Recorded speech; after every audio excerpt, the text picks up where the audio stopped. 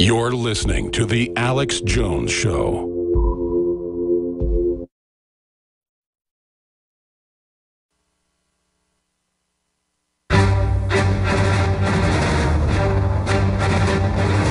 Big Brother, mainstream media, government cover ups. You want answers? Well, so does he. He's Alex Jones on the GCN Radio Network. And now, live from Austin, Texas, Alex Jones.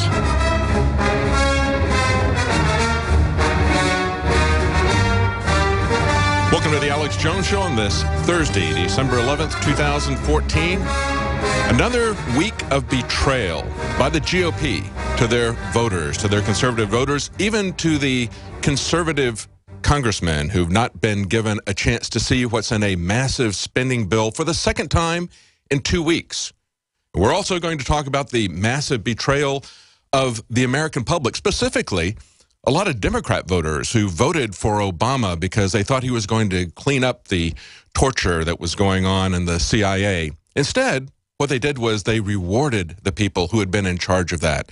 We're going to look at the big picture of the torture report. We're also going to talk to Joe Biggs, who was in Afghanistan, Iraq. We're going to talk to him about what he saw on the ground. As he mentioned, he's delivered people to uh, facilities that uh, he believed they were being tortured, facilities where he didn't see the people in some cases come out. So we want to talk about that. There's been a lot that's been said on the radio as well as on the news excusing everybody involved. It's like nobody knew this was going on. Come on, we've known about this for over a decade. Everybody in America has known this is going on. George Bush knew about it. This report from Senator Feinstein is a whitewash of the American government, of the American people. And what it reveals is that we have a secretive government that operates in the dark on a black budget called the CIA. They can do anything they want and they can get away with it. Murder, torture, whatever. That's what the real source of this report is. The real findings of this report is they can do anything they want. But the day is coming where there's going to be a day of reckoning. If it doesn't happen to them on this earth, it's going to happen eventually.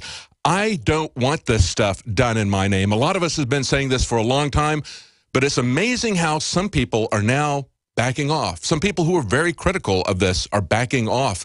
People who would have criticized and did criticize Obama's attempt to immediately put John Brennan, one of the people who was in charge, very high up in the CIA, apologist for the enhanced interrogation. He wanted to make him head of the CIA immediately, but then wisely backed off and did that about five years later. In the meantime, they use John Brennan as someone laying down legal cover for drone assassinations. Then he takes his place at the CIA.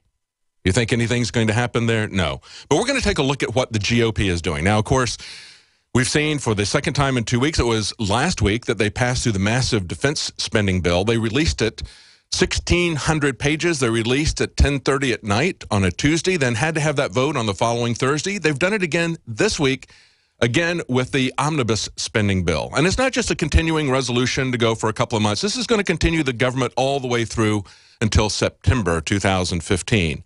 We're going to look at what they crammed in this bill and didn't give anybody a chance to take a look at it.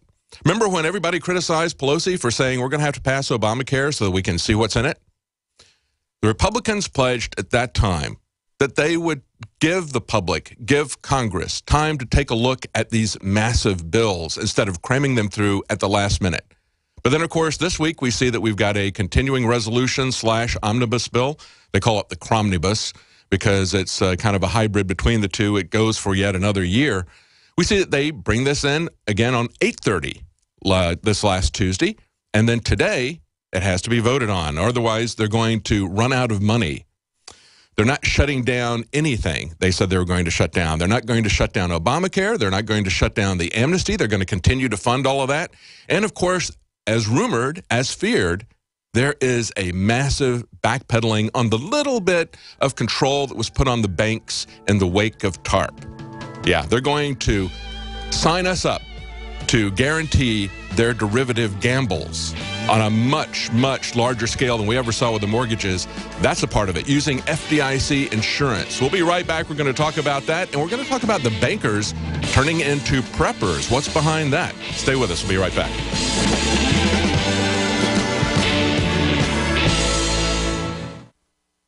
2015 is almost here, and with it comes those New Year's resolutions to finally transform your body the way you want it. There's a reason over 88% of New Year's resolutions fail. Make this year different by equipping yourself with Oxy Powder, the next level in cleansing the body naturally. Using super oxygenation, Oxy Powder, available through InfoWarsLife.com, gently cleanses the body while you sleep with easy capsules. Tens of thousands of individuals have used Oxy Powder to cleanse their bodies and aid in their transformations. Even InfoWars Nightly News Director Rob Dew has been using Oxy Powder with incredible success.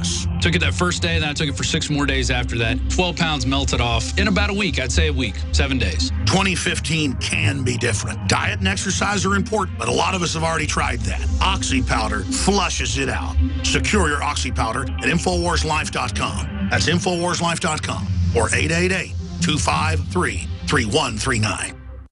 The government's Department of Homeland Security is buying up loads of ammo. At the same time, they're restricting civilians' rights to own and purchase firearms. Can you put two and two together? Infidel Body Armor can stop every round, including hollow points and 308 sniper rounds, is reasonably priced and fully legal. But for how long? Go to infidelbodyarmor.com, spelled I N F I D E L bodyarmor.com.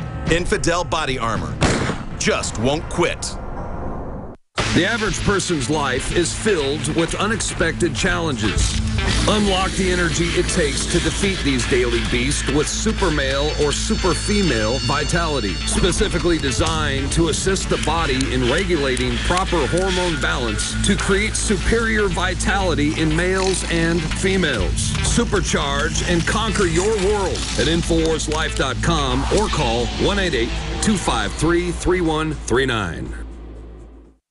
Sold out for weeks due to the difficult and extensive proprietary process behind its creation, the exclusive InfoWars Life Secret 12 formulation is now back in stock in the last limited shipment of 2014. The most bioactive form that has been created with our proprietary process. This ultra-clean vitamin B12 nutraceutical has been carefully crafted and developed over the last two years and is based on cellular science of how your body actively absorbs essential nutrients. Secret 12 is taken by mouth, right on the tongue, and then swallowed. No needles, no injections. Vitamin B12 deficiency is linked to scores of serious problems. And Secret 12 is a fusion of two organic proprietary forms of vitamin B12, bringing you a true nutraceutical quality vitamin B12. Secret 12 is an excellent Christmas gift. Secure your Secret 12 formula before December 17th at InfoWarsLife.com and receive it before Christmas guaranteed. That's InfoWarsLife.com before December 17th or by calling 888-253-3139.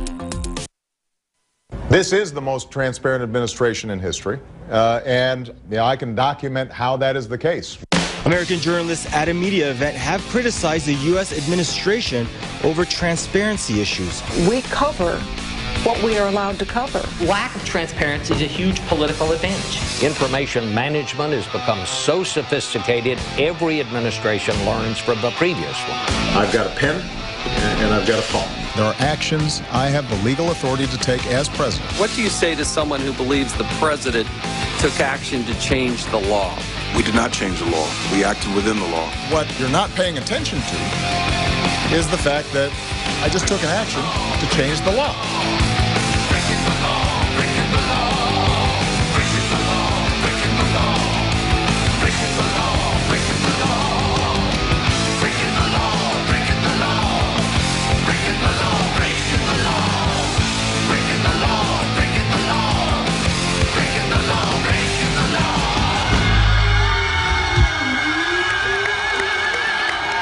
Front lines of the information war, it's Alex Jones.